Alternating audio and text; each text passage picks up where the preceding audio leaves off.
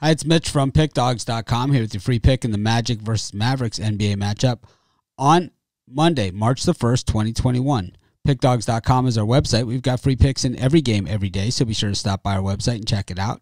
Here on YouTube, I do more free pick videos than anyone, so be sure to subscribe to our channel. Let's get to this one between the Magic and the Mavericks. And the Magic, well, six and a half point home dogs in this one to a Mavericks team that, well, getting a lot of press is uh, James Harden calling Luka, you know, just the most unbelievable player out there. He is really good, right? The Mavs seven and three in their last ten, just eight and eight on the road, nine and seven against the number on the road. While the Magic eight and ten straight up and against the number at home four and six in their last 10 games.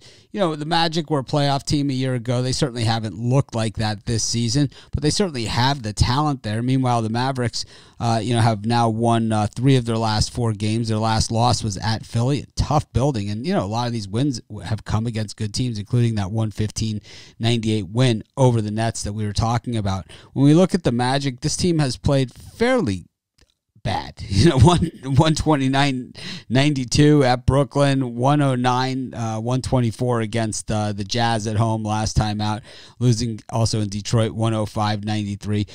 They did win in Detroit and they had beaten Golden State and the Knicks. They've strung together some wins. They're not horrible but it's just they have been inconsistent and really the Magic have been really banged up. I just think in this one, getting the six and a half points here against a Mavericks team that generally teams like the Mavericks and the Pelicans, you seem to be laying too many points because they have these star players that are kind of these emerging emerging guys, and uh, usually the star power usually means uh, a good fade because they have to lay too many points.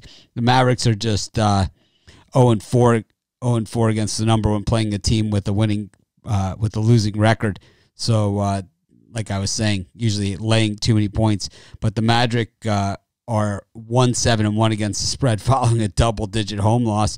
Three and twelve, uh, or six twenty and one against the number in the last twenty seven as a home dog. Uh, just not a lot of places to go in this one. I'm going to flip a coin. I'm going to end up taking the points. I'm going to take the Magic in the six and a half.